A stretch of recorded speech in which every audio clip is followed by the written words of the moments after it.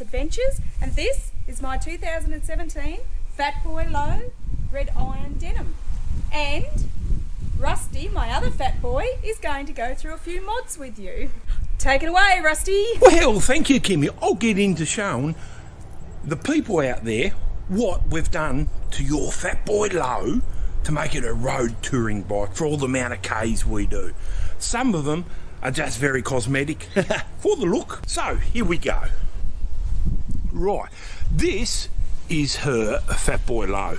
And as you can see, the very first, first thing we did to this bike was lower it. Because Kim is only 4 foot 11. So that is very small, especially for such a big bike. But we lowered that. They put this lowering kit in it, the one here up on the screen now, and that dropped it one inch.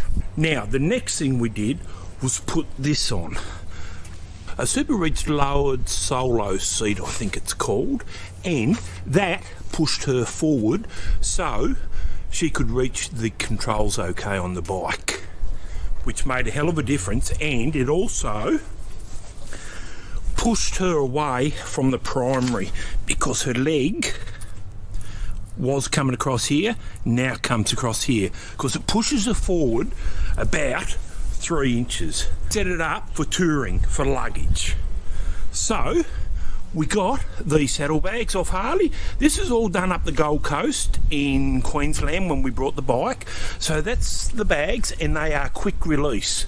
They come off within about 10 seconds. We also did a couple other little modifications, as in one USB charger there we placed on the bike and one quad lock mount for her phone. We've run a lot of mounts on different bikes and we've found this to be the best one we've had so far. You might think it might jump around a fair bit on the handlebars, but it doesn't. It's really stable. All you do is put it in like that, and that's it. Look how solid that is. We've run the X grip and everything before, but we don't quite like them as much and a couple others. We put a windscreen on it. Now this windscreen's only just been put on not long ago. Here it is here. It is a Harley Davidson windscreen, but that windscreen was actually 21 inches tall. So, uh, where is it? That's the bottom of the screen there. It come up another six inches about there. So Kim was looking through it too much. So oh, Rusty here, he cut it down and it has been cut down to 15 inches I think it was. We cut it down to and now it's all good for her. We actually got that off Facebook Marketplace. So that was a pretty good buy that. Also we've put this is cosmetic Willie G brake pad. That's in there. I have coloured the eyes in red and shifter peg. Covers on. And as you can see the eyes are coloured in red. Purely cosmetic. We've put on Screaming Eagle spark plug leads. Orange ones. Now Kim likes the look of these with the colour of her bike. We've got a Harley Davidson. What do you call them footrest pad now, we needed that because when we do go camping on the motorbikes, so it was sinking into the ground a bit at campsites. So we got that as well. I know you can use a piece of wood, but hey, eight bucks or something, you know, cheap as. Another accessory for the bike, for when she hasn't got a luggage rack on the back, which I'll show you in a minute, is a fender bib. It is Harley Davidson one, and it just covers the fender we never really too up on this bike so that's just it. For a bit of show. We put this lay down number plate holder on the back of the bike. It's a Kuryakyn I think it's a Kuryakyn one this one. But the other number plate if you look at the back of the Harleys sits up about this high and they look awful. This is just more discreet and lays down with the shape of the back of the bike she wanted some axle nut covers. So there's one there. This is on the front wheel. The other one's just over the other side. Oh, I don't think you can see it. Now the tyres we run on this bike are Pirelli Night Dragons. These, this is the second set we've had on the bike and they are very good. All the other tyres we've tried, including the ones they come out with the Dunlop, I think they might be Dunlop 404, I'm not sure, I'd have to look that up but they're a lot harder. These Pirelli Night Dragons are a bit softer and we actually get a lot better Ks out of it and it's a lot better handling in the corners. So I'll just give you a peek of them.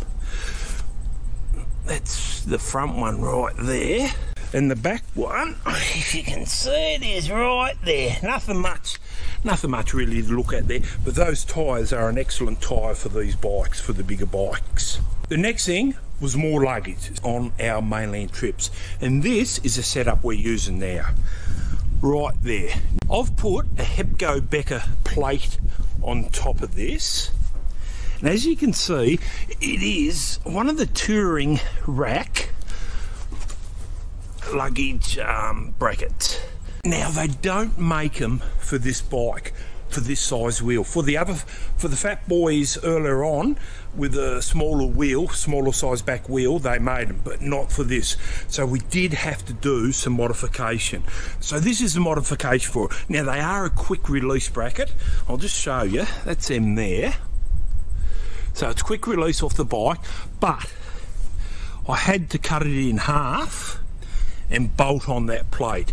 And it is quite stable. Like I said it's set up the these actual racks here are set up for the fat boy with a smaller size back wheel. This has got the 200 on it.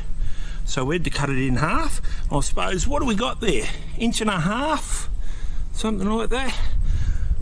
And uh, we bolted that together. Now that is a great option. I'll show you the bag that goes on the back of it this is the bag that sits on the back of it. Look at that. It looks pretty sweet, doesn't it? And it sits perfectly on this plate here, and we just put straps over the top of it. It's a new addition to the bike. We haven't done many Ks with them on yet, but we've put these highway bars on.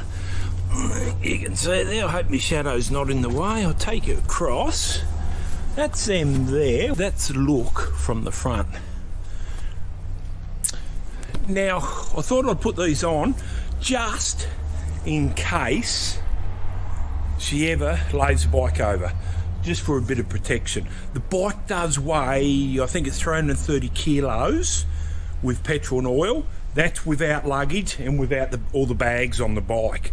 So it's a fair sized bike for someone that's only very little. Four foot eleven and a half or something she is. So she does a bloody good job on this bike and she absolutely loves it.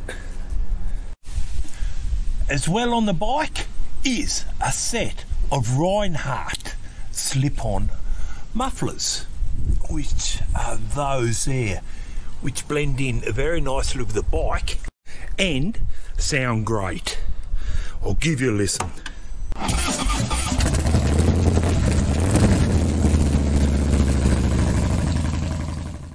Okay guys, I hope you enjoyed that.